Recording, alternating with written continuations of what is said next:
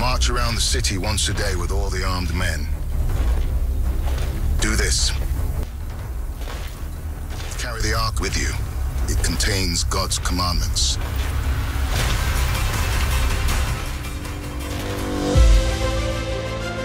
여호수아 군대가 여리고 성을 돌았던 것처럼 우리도 새성전 땅밟기 기도를 시작합니다.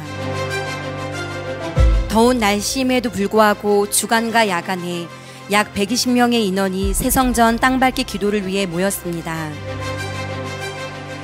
담임 목사님을 통하여 건축 상황에 대한 설명을 듣고 찬송과 기도 후 새성전으로 출발하였습니다.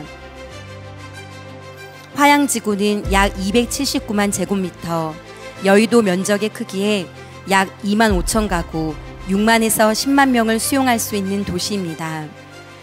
하나님께서는 그 땅의 영혼을 섬기는 사명을 우리 교회에 맡겨주셨습니다.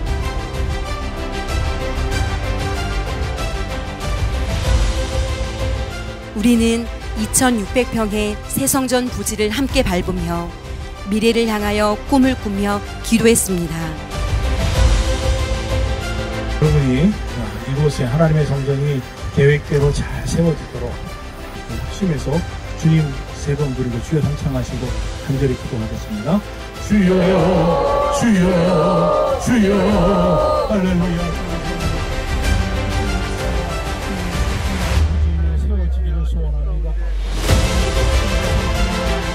주여 성전 건축의 모든 일정이 차질 없이 진행되게 하여 주시옵소서.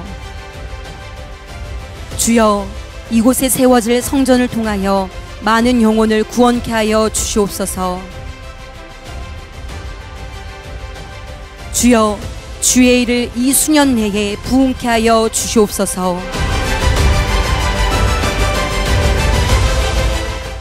주여 이 땅에 하나님이 기뻐하실 성전이 세워지게 하여 주시옵소서.